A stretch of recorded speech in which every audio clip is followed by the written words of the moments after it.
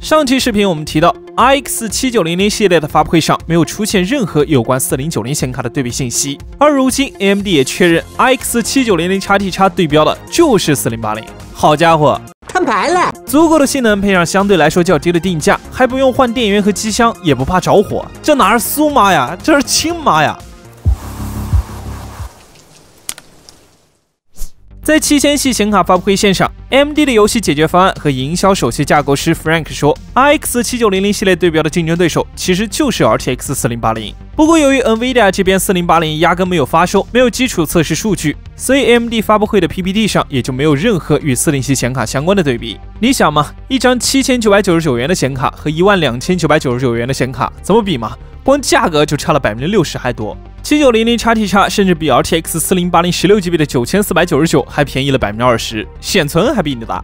目前给讲我也正在测四零八零这张卡，不知道谁会更强一些呢？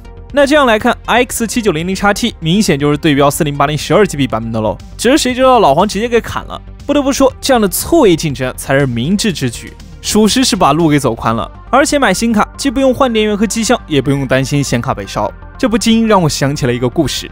我四零九零性能最强，你显卡烧过；我 DLSS 三帧数翻倍，你显卡烧过。咱能不气烧的事了吗？我七九零零 XT-X 只要七九九九，呃，买我的卡不用换机箱和电源，呃，我旗舰卡比你四零八零还便宜一千五百块，还是聊烧的事吧？你显卡烧过。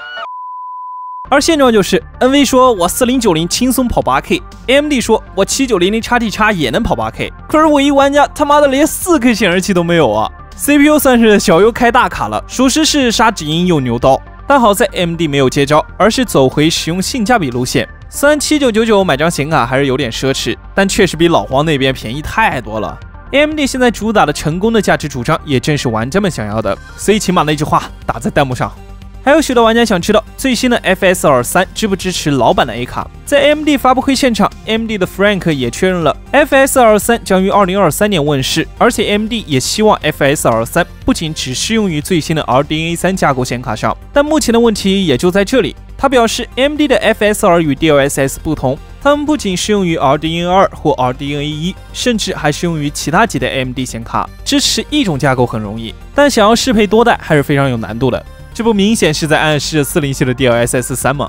所以 AMD 目前无法百分百确认他们是否能够兑现使用 FSR 三支持更多架构的承诺，只能说他们正在努力。在发布会之后，AMD 的线下活动中也进行了 RX 七九零零系列显卡的全方位展示，通体为黑色护罩设计，散热片以及背板中加入了零星的红色点缀，中间风扇的凹陷处沿边缘加入了两个灯条，与隔壁的板砖相比更具有科技和金属感，一股机甲风的味道。